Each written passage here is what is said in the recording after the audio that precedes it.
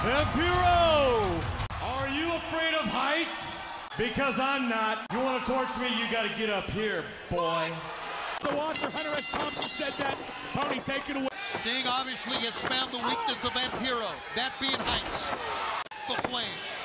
Give Sting credit, like I've been saying, just a different version of Vampiro match indicates Sting has changed. I think upside that never ventures into the A comb- oh,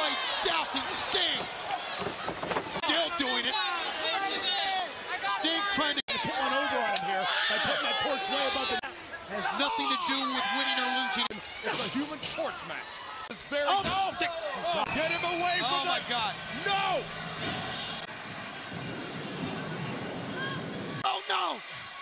Oh, oh my god! god!